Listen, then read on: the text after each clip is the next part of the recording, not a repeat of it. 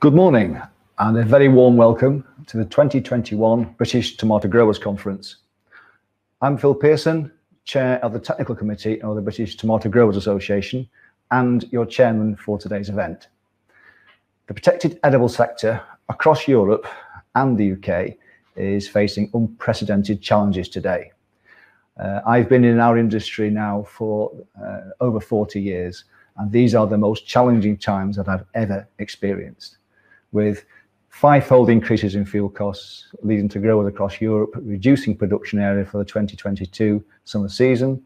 Similar increases in electricity costs are resulting in already propagated plants being thrown away uh, as the cost of winter production exceeds the value of the crop.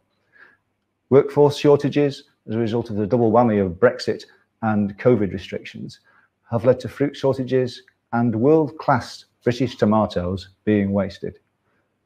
A shortage of HGV drivers across Europe has also led to the wonderful British tomatoes being thrown away. Huge challenges then.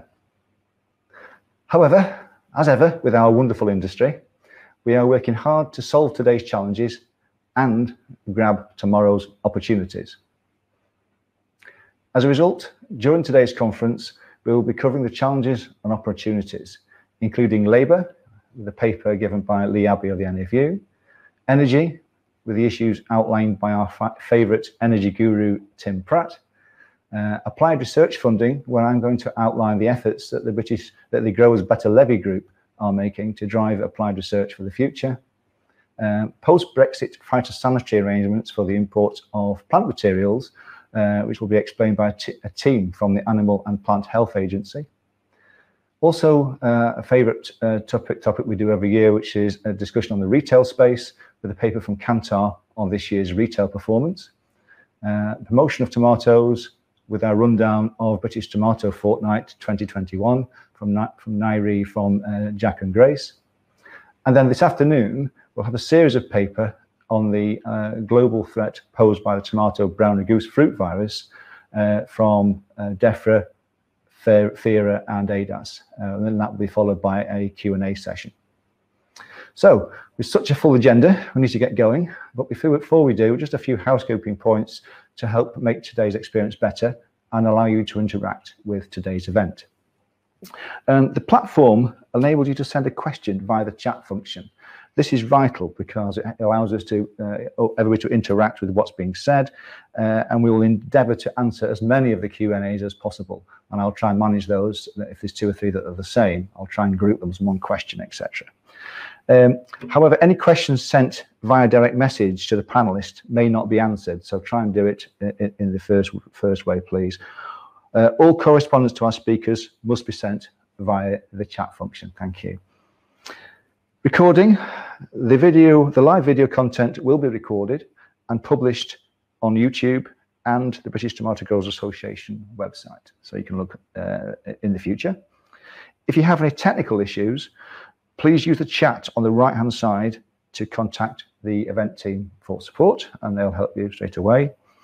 Uh, we encourage you to visit the expo area via the button on the left hand menu where our sponsors and trade stands who are vital for, for uh, allowing us to produce this event uh, are. Uh, they have virtual booths. This event cannot go ahead without their support. Therefore, please use the time that you have to pop in and have a look at, at their content, uh, you know, and see what's of interest to, to you. Okay, before we start, um, on the same note as trade stands, uh, we have a short video now from a sponsor of our first session, which is Botanicoir.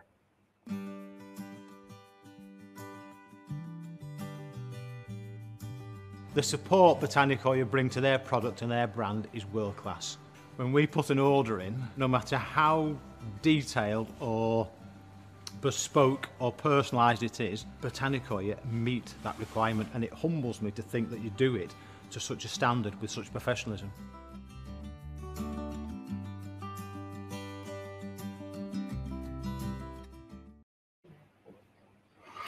Thank you very much to Botanicoir for that video. Okay, as in the modern world of uh, living uh, virtually, um, I'm hoping next year, by the way, that we are in person, uh, this won't occur. We've already had our first technical challenge. So we need to change the order of our first two speakers, if that's all right.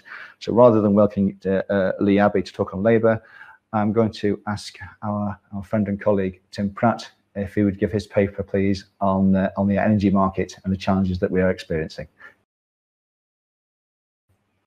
Thank you, Phil. Uh, yes, just just like the energy markets, things have changed last minute. Um, so yeah, a, few months ago, I was asked to present, probably more focused on net zero and hydrogen because I've been feeding into some hydrogen-related consultation, and, and it was a bit of a odd point to them when I said, you know, we actually want CO2, and it was like, oh, really? Um, of course, the need the need for CO2 is suddenly in the headlines, but unfortunately greenhouses don't get a mention. So, so the, my, my presentation has sort of changed a bit from from what it was perhaps originally intended to be.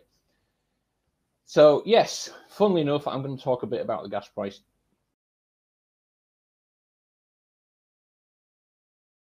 As many of you who know me uh, know that I'm a bit of a fan of, if you like, of combined heat and power, and, and we've got to keep asking ourselves: Is it is CHP still still our friend, if you like, in a in a CO2 or, or net zero and energy costs and, and, and all that kind of thing. So I'm, I'm going to run through some CHP figures just to see what that looks like.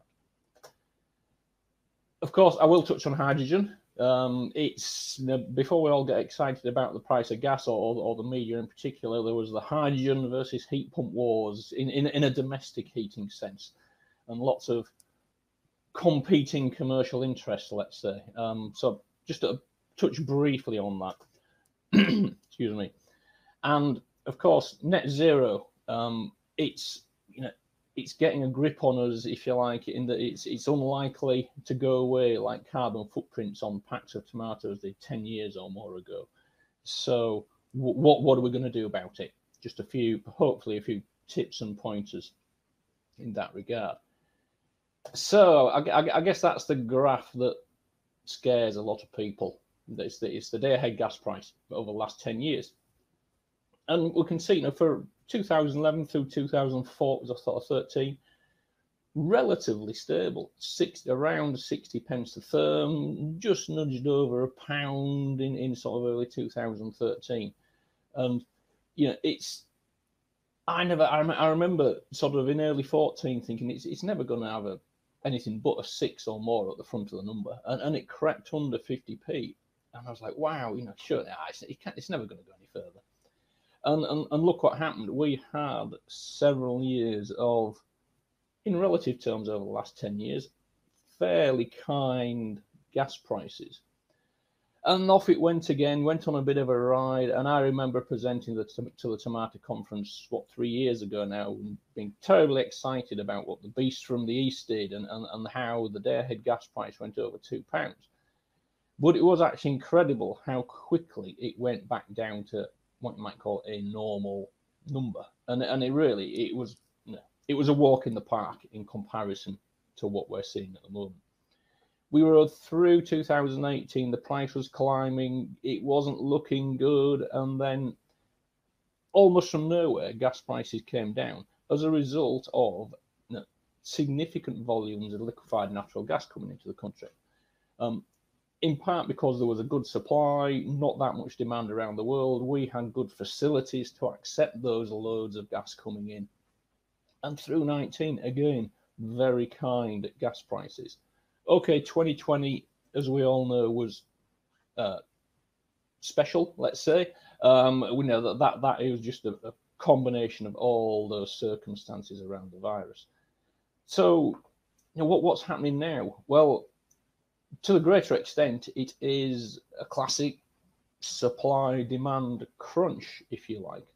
Um, Asia, um, Asia is buying lots of LNG, liquefied natural gas to, to produce electricity. There's a general move away from coal in a lot of countries. So natural gas is the fuel of choice to produce electricity.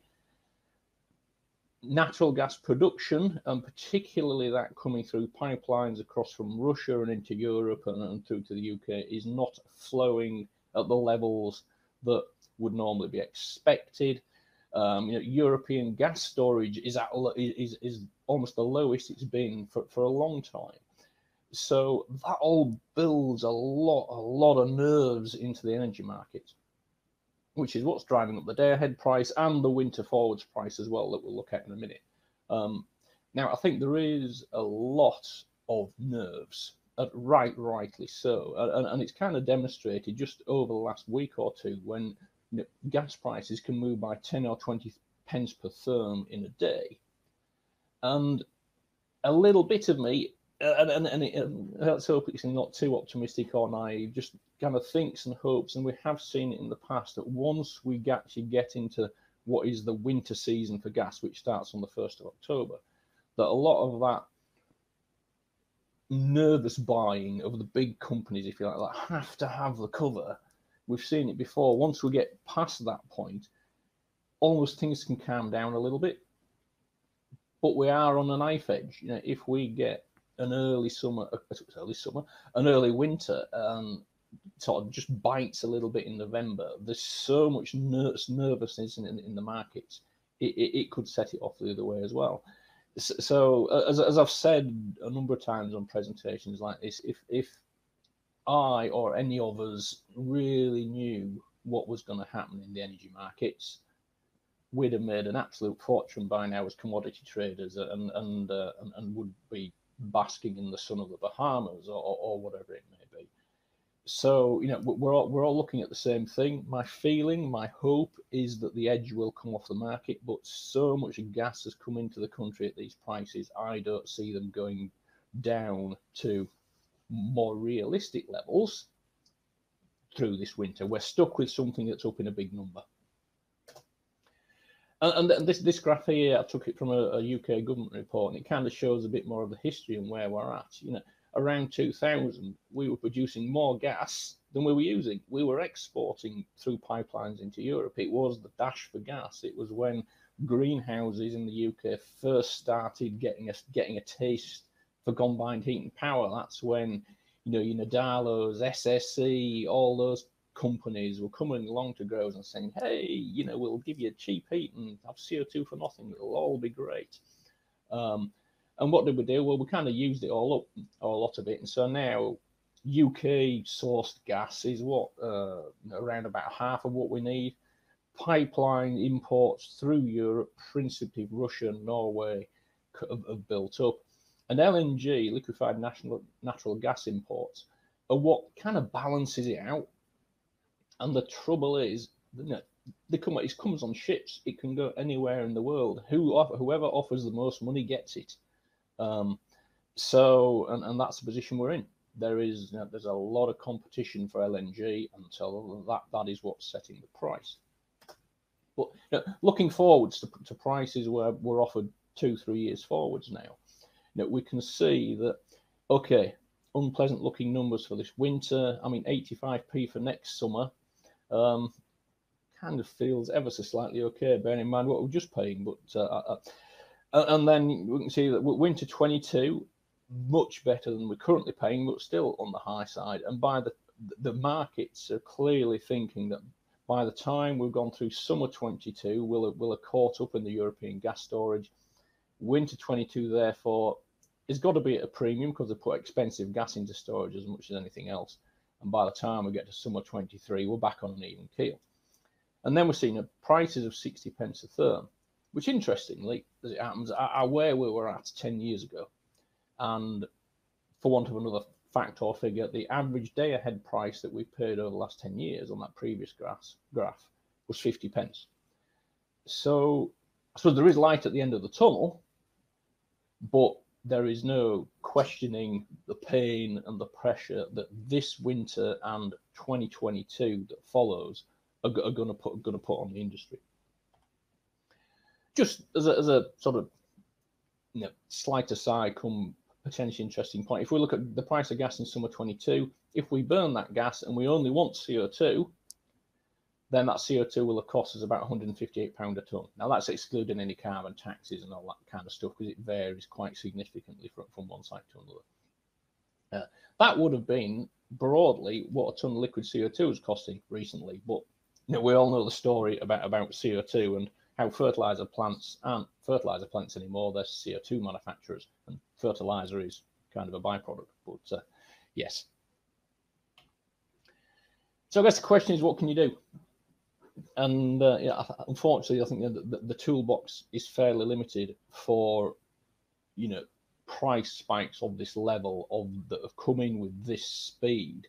And when you look at what prices are expected to do over the next year or two, um, you know, that it doesn't even, it's not like there are some significant investments that you might make now that will make solid, reliable savings to year after year. There will be an insurance policy. And the question is, what kind of insurance policy do you want to pay for? Or do you need to pay for?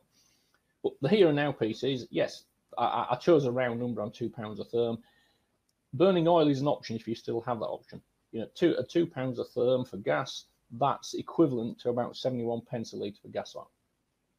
Important to note that if you're burning gas oil, you can the horticulture can still get the heating oil duty back of around about 10p. Uh, somebody said to me the other day, I think that the gas oils are in sort of like 40 odd pence a litre. Um, it'd be interesting if anybody else has been pricing up gas oil. But if you put it in the comments, it'll be interesting to hear what what, what kind of figures there, there are out there.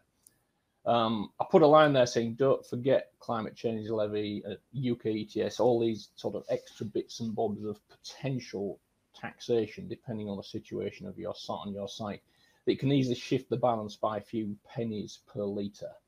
Well, yeah, gives give, gives you a guide, if nothing else.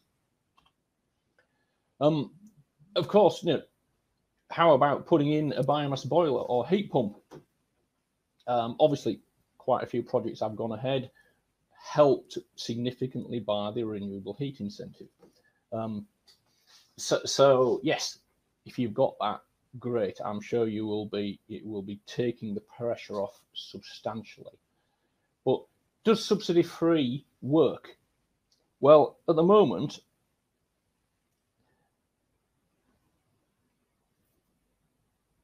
sorry, I had a message from Tomato Conference Central on my WhatsApp, and I wasn't sure whether it was for me or not, and you, you, would stopped hearing me or something. No, sorry. Um, yeah, biomass boilers, heat pumps, they do, even at today's gas price. Yes, there is a saving at today's gas price, but it's not that big, which which is a telling message in itself. Um, and, and the idea of yes, 12 months at least to get such a such an installation going if you haven't got one already by then the edges come off the gas price or at least the forward price market says that and, and so your savings gone so yeah it's just a it's a interesting message in a sense that in, even with the gas prices that we're seeing without some kind of support or shift in in the sort of like government policy taxation call it what you like the, these technologies they work, but financially they don't add up. Now, what usually happens is when we see gas spikes like this, price spikes like this, and, and, and I've had conversations with various people already, it says, right, you know, what can we do? Should we be hedging? Um, and yeah, you know, I've, I've often said in previous presentations, and it's still the case, that in the long run, if you buy your gas day ahead, it's cheaper than fixing forwards because fixing forwards is an insurance policy and insurance policies cost money. There is a risk premium added to that price that you are being offered for a forward purchase. But yes, you know, faced with price rises like this, the question is, it, it, how can you ride through the kind of price rises we are seeing if you have not fixed forwards? Very much an individual business decision. And bearing in mind, this spike that we're seeing now is you know, easily a once in 10 year event in terms of the trends that we can see.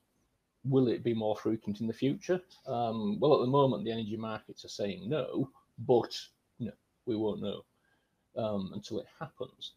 So I suppose, yes, it's think about your purchasing strategy. Do you need the comfort, having taken such a battering as, as you probably are now and, and going into next year is the comfort and stability of a long-term hedging strategy something that you really do need to be considering now only you can truly answer that But long-term hedging strategies don't have to be complicated. They don't have to be difficult.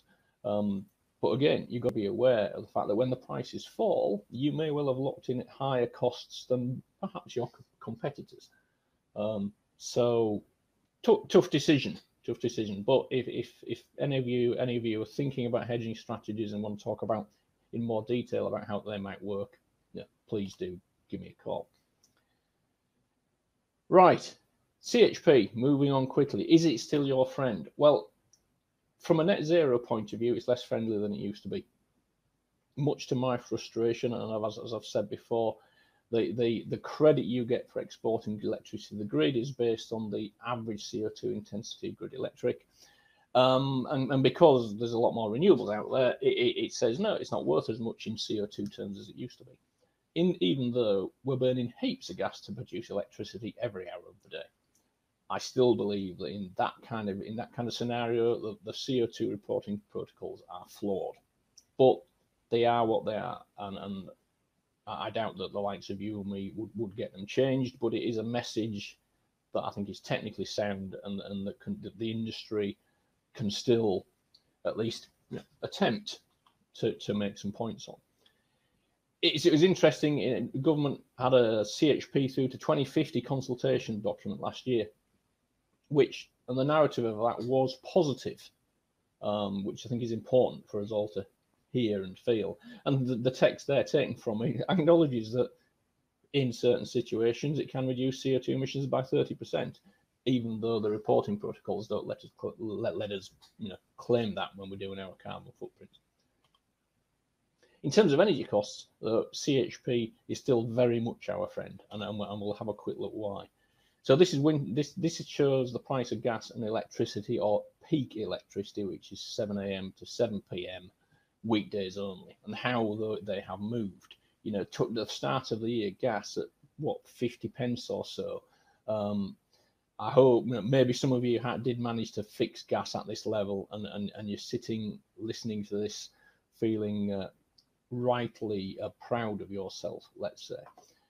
Uh, but what really matters CHP is what we call the spark spread. That's the cost of the gas, sorry, the value of the electricity generated minus the cost of the gas burned and I've been following this for a while. And when it hit sort of the 35 pound number, I thought, oh, that's, I haven't seen anything like that for a while.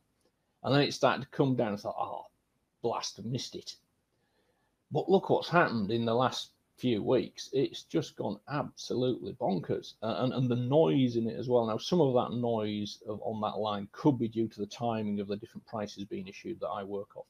Um, but it shows, you know, how what the nerves in the market are in terms of electricity as, as, as much as anything else. And if we change that into what the cost of heat produced by a CHP, allowing for modern efficiencies a sensible maintenance cost, then if we just if we ignore the bit at the end, which is actually good news to be fair, but the stability of heat cost that CHP has given us through this year is so much better than just you know, burning gas in a boiler. Now, we do have to keep pinching ourselves and seeing that CHP are not cheap things to buy. They have to be bought and paid for. These I haven't got any finance cost in this. I haven't actually put any carbon costs in this figure either. I'll touch on carbon costs in a moment. But CHP is a really good energy cost risk management tool, or, or whatever phrase you might want to choose as long as that electricity is hitting the grid, and as Phil said at the start, you know, winter lit crops are taking all that electricity, all that cost is staying on site. So a CHP will save you money versus grid electric, absolutely. But if you've got winter lights, then it, it's not going to ease the pain that we're seeing on gas prices at the moment. And if we flip it on its head, obviously, cost of heat from boilers is going up. Uh, with, with the price of gas, then actually the value or the saving that CHP is giving you on heat for this winter is almost like a mirror image of it. And yes, there we go. You know, it, it just goes to show what, what CHP is, is doing for us at the moment. And then just looking forward to summer 22, um, we can see that ultimately the prices are such that if you've got CHP, that you're putting the electric on the grid, it's going to work quite nicely.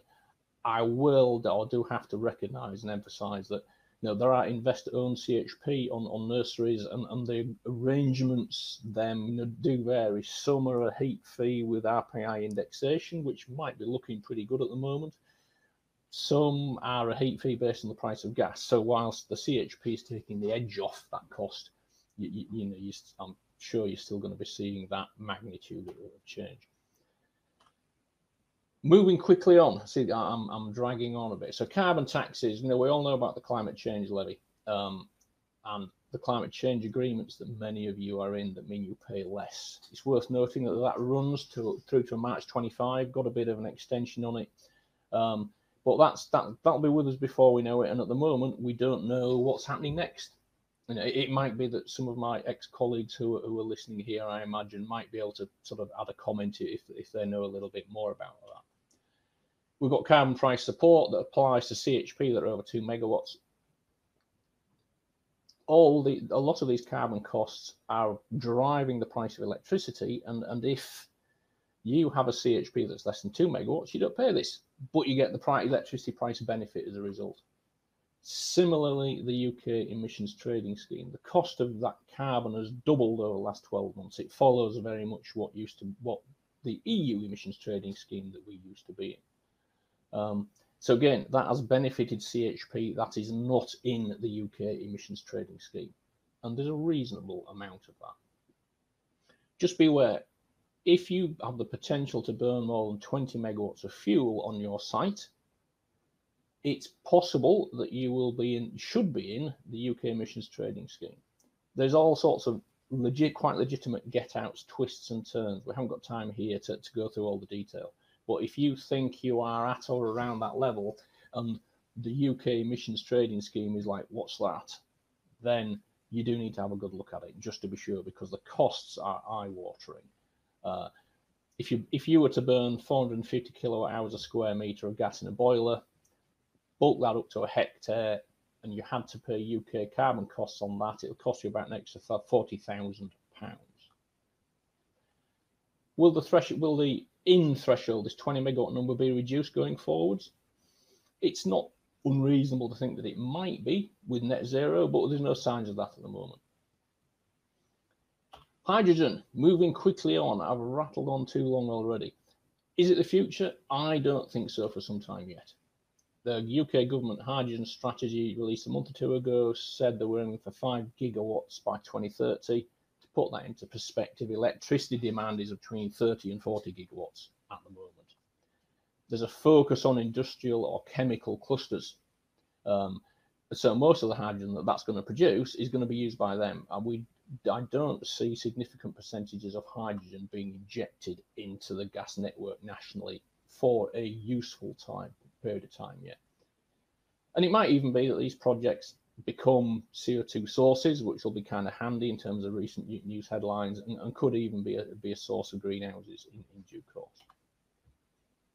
Right, the road to net zero. I will try and keep it short, even though my analogy says it's going to be long and bendy. Um, there will be diversions. We might hope for shortcuts, you know, another type of renewable heat incentive that some in the industry have taken good advantage of. Ugh I'm not sure we'll get anything quite that good again. Um, and will there be some new technology that isn't quite ready for the market yet that's going to transform things for us? I think the thing is, we have the solutions already. You know, there are growers already running heating greenhouses with heat pumps, with biomass, with liquid CO2 recovered from anaerobic digesters. We can recover CO2 from biomass boilers. The trouble is, it doesn't add up financially. So we have we have the solutions. We could do it tomorrow if the money was there, and that's the key thing. Now, where that money comes from is another matter. Um, but yes, what I've seen and heard is is a number of people being asked to do start doing carbon footprints. Um, very much focused on what we would call scopes one and two, which are principally energy use, whether it be that direct stuff, but stuff directly burnt on your site or imports of electricity and heat. Um, I think it's useful to look at your CO2 emissions against a range of metrics because different crops obviously have different yields, uh, different values, and, and, and that changes what you grow changes over years. So it's I think it's useful to, to consider it in a, in a variety of different ways. But at the end of the day, zero is zero per kilo per square meter per whatever. So, so we shouldn't lose sight of that. Um, sort of first steps or baby steps, as you might call it. I think I would say, look at look at what you're buying. Are there some small but easy wins on some consumables that give you a little bit of progress in terms of your carbon emissions? Is it reasonable and realistic to buy green energy? Well, there's a lot of greenwash going on in the green energy game. Finally, green electricity is being seen for being very pale shade. Buying green gas certificates is actually quite expensive still. Are carbon offsets the way forwards? Well, that can be a bit of an interesting game. If you ever did go down that route, I'd want to be sure that it that it was the right source and that your customers were on board with it. Tim, I'm really sorry to do this to you, but could we just pause your presentation just to give uh, Lee the opportunity to do his paper? I realise it's uh, messing you around, and you're really helping us. Uh, but we we lose we lose Lee at eleven, so I was hoping to just let him do no his problem. bit, and then can we come back to you? Would that be all right? Uh, absolutely, Phil. No problem at all. You, you are a star. Thank you so much, Tim. We'll speak to you in a few moments. Yeah, cheers yeah, sorry about that, everybody. Uh, yeah, as you've as you've heard, the technical challenges. Next year, we're definitely doing it face to face. Lee, can I welcome you, uh, Lee Abbey from the NFU, to talk about the challenges we've got with Labour? Uh, I know you've only got a few minutes, so thank you very much indeed. No, that's fine. I, I serious apologies. Um, it was a problem at my end, which meant this agenda had to be shuffled, and it's my fault that I also have to rush off. So, um, fortunately, what I've got to talk about Labour um, will only take around about ten minutes, and I, I, will spare a few extra minutes for questions, Phil. Um, so perhaps if I can go by five past. Um, it's good to join you again. I did speak at last year's TGA conference. Um, I covered a range of things: COVID, Brexit, and Labour. Um, if I'm honest, it'd be nice to talk about something else. Um, but Labour continues to be the most politically challenging issue um, I've dealt with, and expect it will continue for some time yet. Um, just out of interest, I checked my notes from a year ago, and at that time I suggested that 2021 will be the most difficult year yet for accessing workers. Now, that wasn't some amazing crystal ball judgment, um, because I think we all knew that would probably be the case. But what I certainly didn't predict was just how difficult it was going to be. So, as a quick reminder of what's happened since uh, this time last year, um, after significant NFU and industry lobbying, we finally secured the expansion of the seasonal workers pilot into this year and expanded to 30,000 visas. Now, that was only confirmed on the 23rd of December, which is ridiculously late and had a huge knock on impact into the rest of this season. So the lateness of the announcement meant, for example, that the two additional operators were only finally appointed at the beginning of May. And with a minimum of six week lead time to get workers into the UK, it basically meant they missed half of the season. Um, and now they've obviously been working very, very hard to use up all of their visas through the second half. Uh, by July, the two original operators had used up all of their visas. Um, and information we've got from the operators um, would suggest that by last week, um, roughly 27,500 workers had been recruited already through the pilot scheme. But that's the recruitment process. There is still a period of time before some of them are actually due to arrive in the country.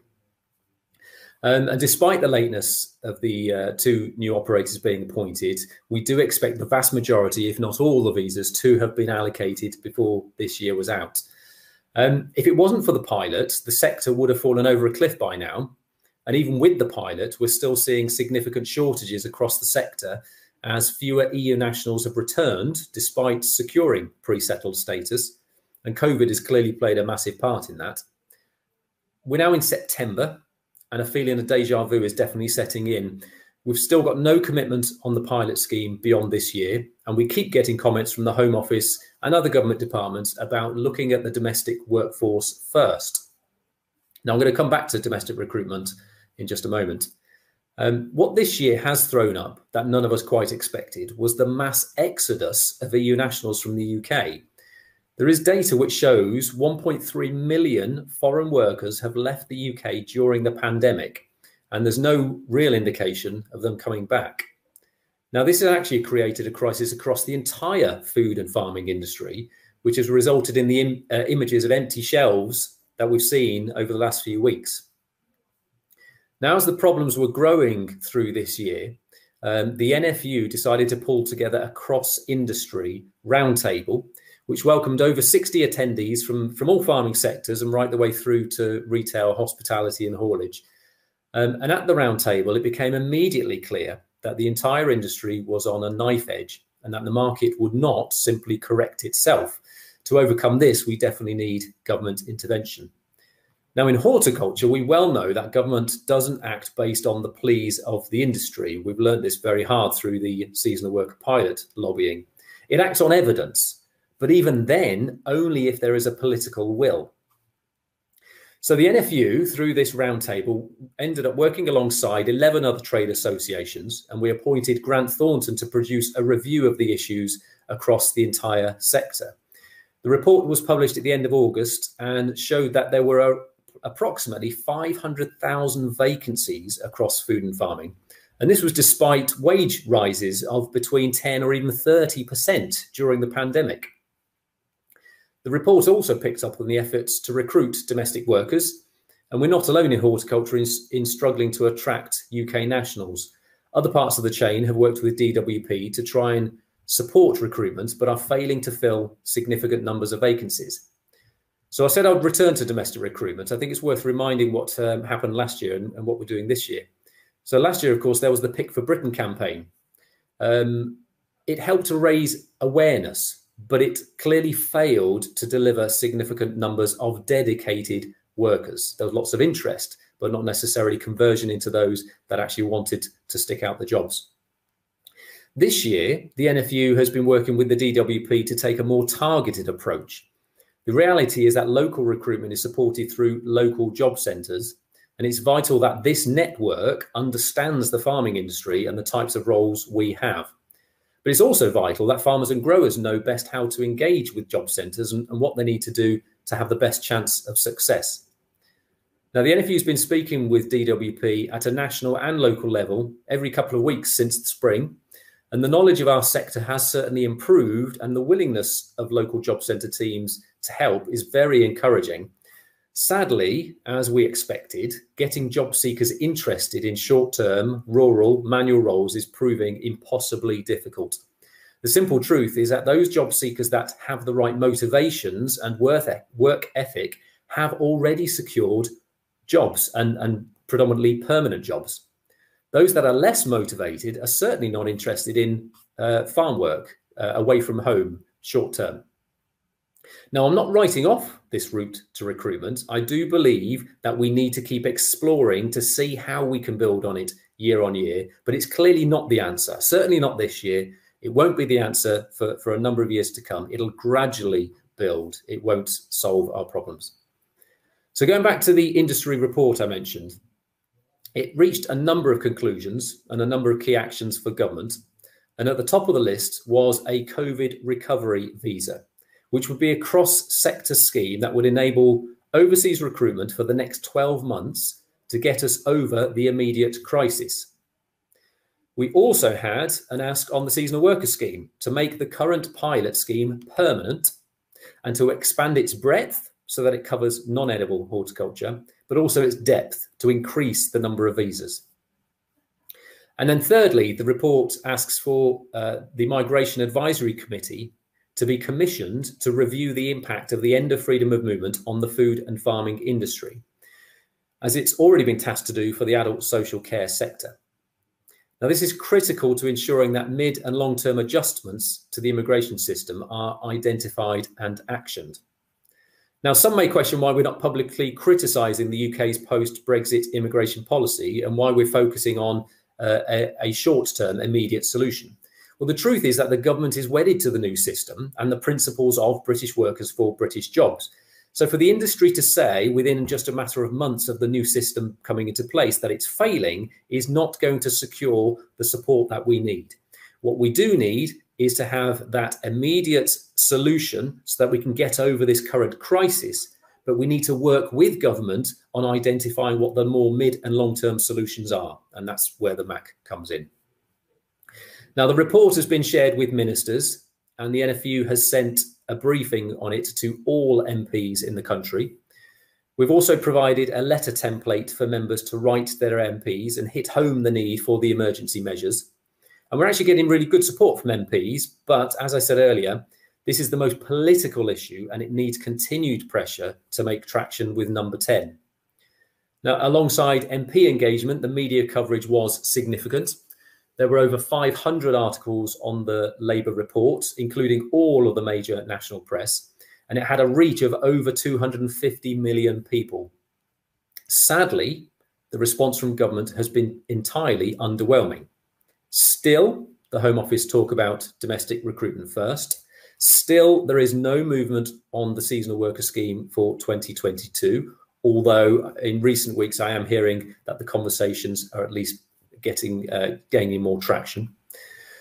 Yet we're having more images of empty shelves and a very real threat that food will be in short supply through the winter. And it's not just Christmas turkeys that are under threat. So that's why the NFU called an emergency summit, summit earlier this week and has coordinated a letter to the Prime Minister on behalf of the same 12 organisations that backed the industry report to reinforce the ask on the COVID recovery visa. Now, in parallel to this, the NFU continues to push for the need for certainty on the seasonal worker scheme as soon as possible. Our evidence is now strong enough also to call for more visas. Um, just in case that's not clear, when we had an expansion to 30,000 visas, this year is a very different situation. Freedom of movement has now ended. We've had the um, settled state status scheme. Obviously, we are very slowly coming out of COVID restrictions. So we've had to prove that this year still 30,000 isn't enough. And I believe we've, we've got that now. Um, one of the pieces of evidence that supports that is the drop in returnee rates. Um, and that obviously goes in line with that max, mass exodus of EU nationals from the UK. 30,000 may have prevented a cliff edge this year. It will not prevent it next year or the year after that. So we need the government to genuinely engage with us on what the new number should be and how that will evolve in the coming years. We simply can't wait until winter every year to know what, if anything, we're going to get for the following year. Now, if the government th ever thinks we're crying wolf, this year has proven without a doubt that we are not. Shortages were bound to hit seasonal horticulture roles first, because why would anyone move away from home for short term work if they could secure a permanent job closer to home? But now those permanent roles are going unfilled too. So, what hope, therefore, has this sector got? So, the seasonal worker scheme has never been about immigration. It's always been about recognizing the uniqueness of seasonal work and accepting there's a good reason why all developed countries across the world bring overseas workers in. Politics is getting in the way of evidence and truth.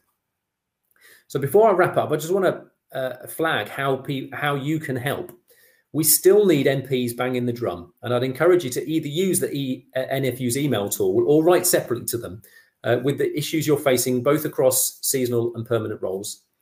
One of the things that certainly gains traction is food waste. It's an issue that resonates not only with politicians, but also the media. So it's helpful to demonstrate where those products are being disposed of and why. Is it a lack of pickers or packers, or is it because of the haulage issues? The evidence is no longer in doubt. We now need to secure the political will to overcome the immediate crisis and address the medium to long term issues that will prevent this happening again. Um, I'm going to stop there. Um, this is an ongoing issue. Sadly, I suspect I'll be back here next year talking about it again and the challenges. Um, but it's something that we believe we can address and we need that political will to do it. And if you can help with pressure through MPs, that would be uh, very welcome. Thank you. Thank you very much indeed, Lee. Uh, absolutely critical message. Obviously, um, it's one of the biggest challenges we've had this year, and as you correctly said, not an obvious answer to it. I mean, your point you made there about politics getting in the way of evidence and truth is absolutely sums it up. That's spot on. Um, I've had a couple of questions, if you've got time, Lee. Um, the first one was that um, how can we address the British work workers shortage if British workers cannot secure rented property or a mortgage on even a short or temporary term uh, area uh, for work offered by this sector. So even if those who want to go into our sector, maybe they're excluded because actually physically can't afford to move into it.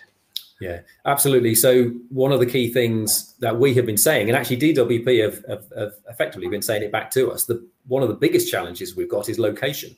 So um, if people have to move to go to a job, or um, if they have to um, uh, commute, to go to one of these jobs. that is a significant barrier because, as we've heard in the media for, for weeks now, um, there are tons of vacancies out there. Uh, we are not the only industry struggling. Um, and all of the people that have the ability to to migrate, to move, or or to take on jobs have already done so. It's the people that ha- have the least ability to do that that are actually left uh, sort of on the books, as it were.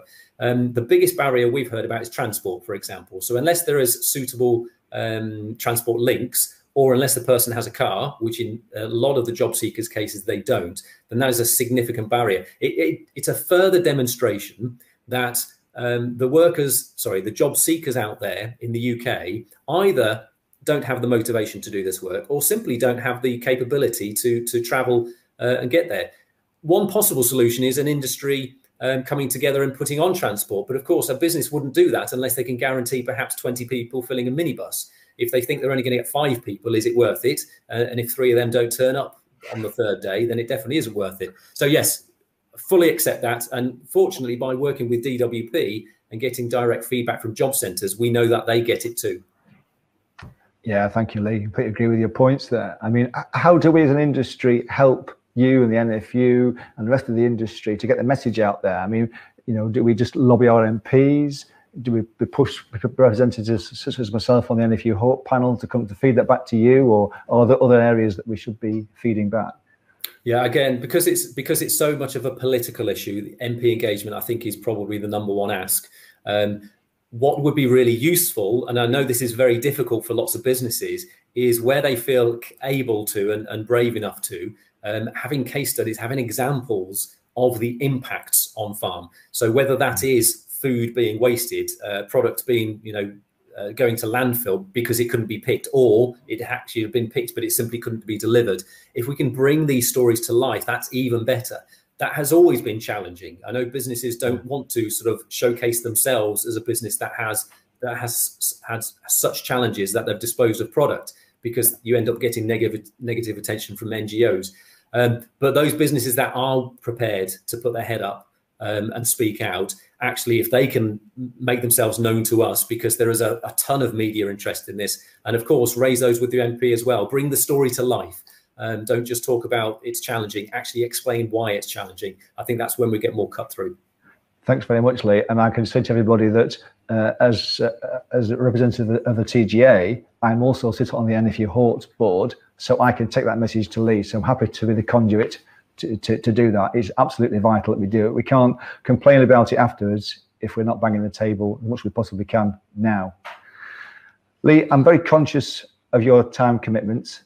Yeah. So uh, thank you, I'll, and apologies again for for switching things around. Not a problem. Thanks, Ever. A really important message, Lee. Thanks very much indeed. Okay, as uh, Lee mentioned there, we've uh, switched our agenda around rather, and I'm very grateful to Tim that I can see on my screen here. He's hanging on very patiently to uh, to, to, complete his uh, talk and presentation. Tim, are you right to just to continue, and then we'll pick a few questions up at the end, maybe just uh, if you could right at the end of your presentation, just a very quick overview so people can remember what it was you were talking about. I apologise for that. No problem. Am I back there? Can you hear me, Phil? Hello. Technical problems. Can you can you hear me, Tim? I can hear you, Phil. Yeah. Right, we can hear you. So over oh, to excellent. you. That's all right. Sorry, I wasn't sure whether we're all plugged in or not. Um, right, moving rapidly on. I, I, I, my apologies as well. I, I did overrun and talk too much as, as, usual. So very quickly, just I was I was on the net zero topic. Uh, really moving into the steps that you might take, or do not forget about energy efficiency. It's something that can slip. The daft little things. It's boring. It's dull. There's nothing quite as exciting as putting in a new biomass boiler or a heat pump. But keep an eye on it. Keep up to date. There are rarely any big wins left in energy efficiency. Hopefully, you've all put thermal screens in and things like that. But more often than not, it's a good investment still. And, and, and it's quite a visible thing as well. Is, it. Tim, I'm really sorry to interrupt you. We suddenly lost you. Can you just check your mic's not come unplugged? um, we can just hear you. You've gone very faint. Oh, okay. Um, let me lean forwards a bit. How's that? Yeah, that's helping. Okay. Right, so I'll, I'll, I'll be louder than normal, which is rare. Um, yeah, Yes, please. Thanks, Tim. energy efficiency, keep your eye on the ball, is, is the simplicity of, of that message. It's gone um, quieter and quieter. Keep, keep an eye on what's happening with our technology. It might be happening, but think about where it might go if you're manifolds so they can be added more readily in the future. And so, wrapping up, yeah, the store again. We, sorry, Tim. We we lost you there. I'm really sorry. I can't believe I've lost a tech. You, you've been patient with us, and then the technology decided it doesn't want to hear from you. the technology's got sick of me. That's the first. Um, there you go. That, that's my summary page. Ho- hope, hopefully, you can see that. yes. Brill- Brilliant. Th- thank you very much, Tim. What I'll do, I'll t- I'll talk over, and when I'm saying the wrong thing, wa- wave loudly. Uh, in fact, wave loudly, wave largely, so I can see you. Um, so yeah, you, you've covered gas and the storm that will pass. She's uh, been horrendous this year and is looking worse for next year. So what I'll do is I'll pick a few questions and hopefully you can try and uh, try and answer them. If not, then what we'll have to do is uh, feedback after the event. We're, I'm sorry everybody for these technical challenges. As I said earlier, next year we're definitely doing this face to face. Um, so one of the challenges we had, and it's one of the concerns I've had actually as well, is why do we have such low use of gas storage? I know rough storage was taken out a while ago. It's not going back in. That's two problems, isn't it? It's causing issues now with supply and demand. Also, if everybody tries to fill storage ne- next summer, that's going to push next summer's prices up, isn't it? Absolutely, and, we're seeing that in terms of next summer's price being eighty odd pence. That's that's exactly what's driving it. The will, the, the desire, the need to fill European storage up that's, that's empty now.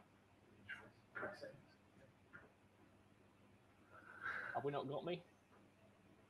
Yeah, I think, I think, I think we've been beaten by technology, Tim. I'm so sorry. Uh, what we'll do, everybody, we'll, we'll, we'll post the Tim's answers to, to the questions that have been posted, uh, uh, and we'll we'll pick it up on the TGA website uh, after the event. So I'm really sorry. Uh, as I say, t- technology's beaten us on this occasion. Tim, I'm sure you can hear me. So please uh, accept our sincere uh, thanks and apologies for the technical problems, but thanks for, for, for putting the points across. Uh, with, there are loads of questions that are coming from people to watching the event, which is a real shame that I'm not able to ask them of you, but we'll, uh, we will do it uh, via the website going forwards. Tim, thank you again. Okay, in that occasion, what we're going to do is uh, just take a short break now, and going to come back with the second session, uh, and that session is going to start in uh, uh, 20 minutes. So uh, if, you, if you take this opportunity to look at the trade stands, please, uh, and, and, make sure that we support them because they are making sure that the, the conference is, is funded and, and critical to it. Yeah, and we'll we'll see you back at uh, 11:30 for the next session. Thank you very much indeed.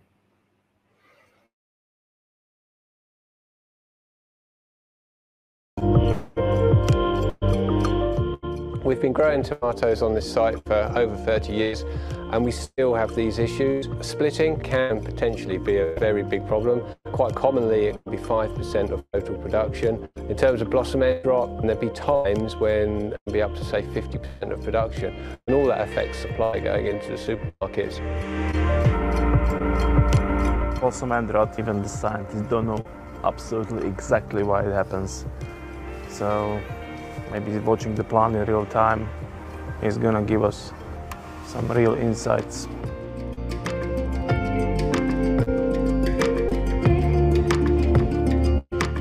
So this is organic piccolo, which is a cherry variety. Some of this goes into Waitrose under the Duchy brand. This is the stem diameter sensor. As the stem swells up, basically pushes the little needle in. and know, we'll measure down to a hundredth of a millimetre and sends the information to the cloud so we can then view that on our phones at any time.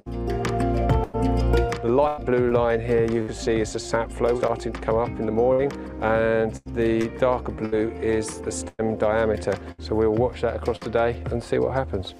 We've been able to see the impact of when we start watering, when we open the screens which are in the roof of the glass house and we've seen that if we open them up too fast that will impact on the water uptake as well. We've been able to make quite a few working practice changes with the sensors. There's quite a lot of potential for other growers to pick this up and use it in a range of different crops. Cucumbers and peppers could easily use this system. I think there's a slightly different sort of sensor that could be used in lettuces and maybe even strawberries as well. Without the support of Innovative Farmers, we wouldn't have been able to test this properly. Innovative Farmers has really helped the process. It will give us the business confidence for next year to continue.